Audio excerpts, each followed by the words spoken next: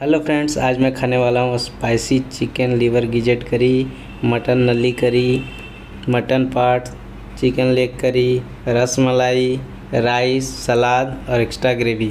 तो खाना शुरू करते हैं।